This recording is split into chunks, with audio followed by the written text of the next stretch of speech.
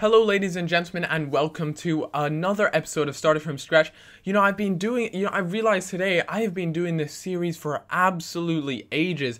So props to everyone who's really stuck by it and watched it from the beginning. I know, personally, I'd love to make this series a lot, like, have a lot more entertainment value in it. Do I in FIFA 13 if I decide to do something like this, which I'd love to know if you guys would like to see, but I want to take it to the next level, make it interesting, give it some sort of meaning and storyline to it, and just make it that whole much more better because I really think that's one of the biggest things um, this series lacked. It didn't really have a point to it, but uh, I've kind of decided that I'm putting the finishing pieces together with this particular team. Now, it's a whole nother question whether I decide to go and make another team. I mean, as you guys can see, I purchased a centre back M'Bia, who I might add is fantastic. But I came up against this squad here, man of the match Balotelli and the steam train, aka Lukaku or the Lukac, and uh, you know that was that was a formidable force. But nevertheless, unfortunately, there was a disqualification. What am I talking about?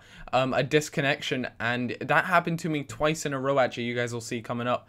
But um, like I was saying, I want you guys to let me know, would you like to see me carry this on in the sense that I go on to another league, another side, and if so, please leave a recommendation down below. I do feel as though I'd like to do it, but I know come FIFA 13, assuming you guys like would like to see this, I'm going to put a whole lot more entertainment value in it, and I hope you guys will appreciate that, and I'm pretty sure if I decide to do it in FIFA 13, I'm going to make it a whole load better. So I came up against Mario Balotelli, but not the Team of the Year version this time, but I actually came across that uh, upgraded and transferred version of Kagawa, and um, that German player there that I cannot remember the name who moved to Chelsea. But this guy actually gets a goal with Hernandez, and I was like, oh, for fuck's sake, like, here we go.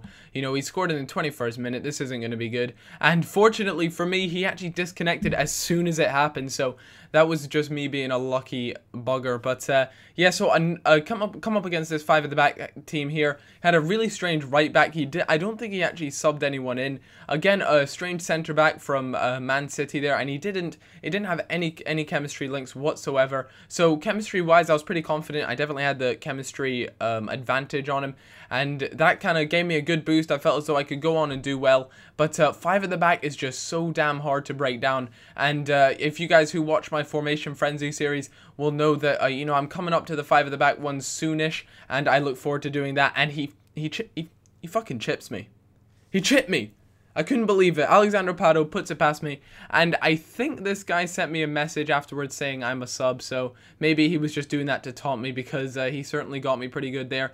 But uh, a little bit of passing around the edge of the box, and it eventually led it to a huge gaping hole, that's what she said, and uh, he manages to put it in the back of the net. And for me, this team, like In-form Menez, 84 Menez, has been an absolute wonderful player. And for the amount of money I spent for him, I'd kind of expected it. So as far as mon monetary value goes in this team, Remy has definitely been the standout player for me. And Pato there getting another goal. Alexander Pato in this game is just...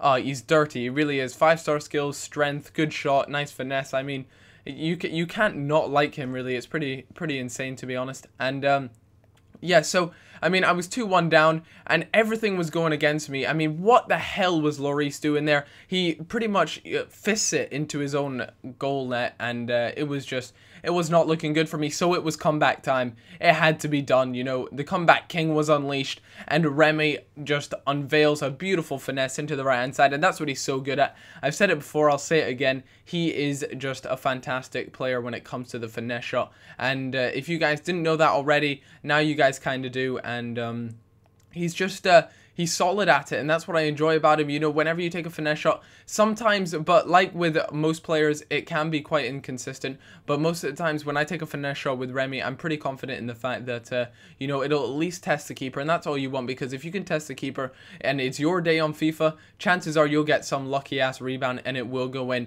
So, guys, I'd like to give you a warning. Shut your eyes now. This is painful. I'm sorry. I... I I'm sorry, guys. You weren't meant to see that. I hope no one under the age of 15 is watching this. I, I'd like to apologize. You know that that it's it's hard things to see when you have to you have to watch that go in the back of the net. But yeah, it, it, in in my uh, in my defense, I did feel as though you know I was on the back foot and I was claw- clawing to get back. And uh, there, four four. That's what it ended at. It ended as sorry in the end.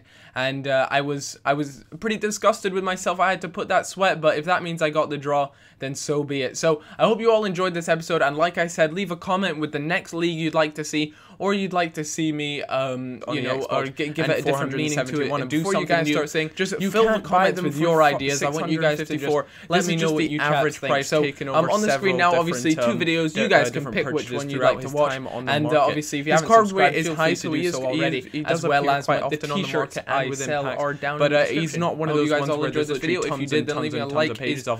Unfortunately, there is no trading graph for today. The site which I usually use doesn't have trading graph for whatever reason. So I just decided I'd show you guys what team I used to